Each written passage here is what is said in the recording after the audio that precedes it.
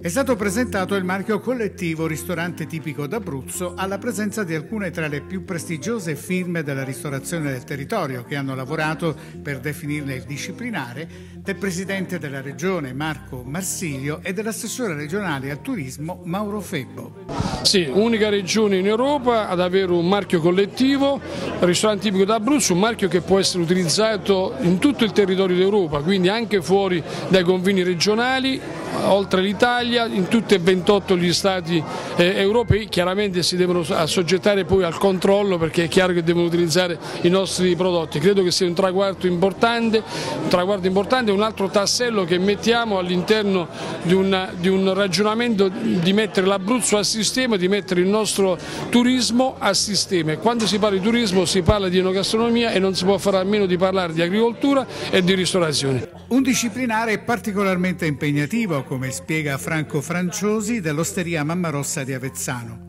La cosa importante è che chi vuole stare all'interno della legge regionale deve utilizzare per la propria cucina almeno il 60% dei prodotti provenienti dal territorio della regione Abruzzo.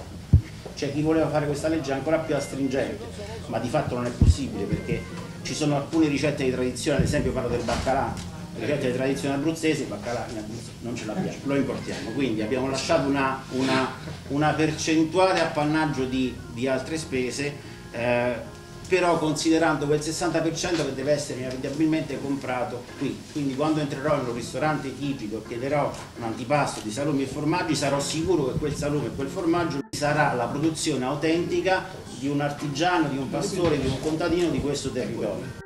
Alla presentazione del nuovo marchio ristorante tipico d'Abruzzo ha voluto essere presente anche Marco Marsilio, presidente della regione Abruzzo. Eh, la pattuglia degli apripista, le tabelle storiche, vediamo adesso quanti saranno quelli che eh, aspireranno ad entrare, eh, che risponderanno al disciplinare e che potranno esibire questo marchio, io spero tanti perché comunque un processo di crescita e di qualificazione non può che far bene tutto il territorio, al nostro sistema della ristorazione, associare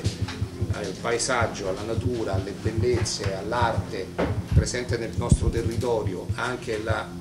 eh, possibilità di godere eh, della enogastronomia di, di, qualità che oggi è un mercato molto molto molto ricercato e oggi è diventata eh, un elemento quasi imprescindibile. Il disciplinare del marchio collettivo ristorante tipico d'Abruzzo tiene conto prima di tutto della tradizione, non ignorando però l'evoluzione dei tempi e la capacità di innovazione. Torniamo ad ascoltare Franco Franciosi. Qua, qua abbiamo diviso le tre sezioni nel solco della tradizione, tradizione e innovazione e innovazione. Che significa questo? Che comprendiamo tutti i tipi di proposta ristorativa, sia chi vuole fare soltanto tradizione, ristoranti di tradizione meravigliosa, tradizione meravigliosa, qua abbiamo alcuni rappresentanti che da anni portano avanti, certificano, catalogano ricette di tradizione, tradizione e innovazione, chi ha un piede nella tradizione con uno sguardo all'innovazione e chi fa innovazione pura, quindi lasciamo spazio anche all'avanguardia abruzzese, l'avanguardia gastronomica. Tra i promotori sostenitori di questo marchio del ristorante tipico d'Abruzzo c'è Lanfranco Centofanti che rappresenta uno storico locale, l'angolo d'Abruzzo. Eh, volevo chiedere appunto una sua opinione su questa eh, legge che ovviamente poi dovrà essere messa alla prova. Ma questa è una legge meravigliosa, diciamo che noi sono 30 anni con la vecchia associazione tra pastori e pescatori che ci stiamo lavorando, non a caso eh, i presenti della vecchia associazione io, Marcello e Peppino, però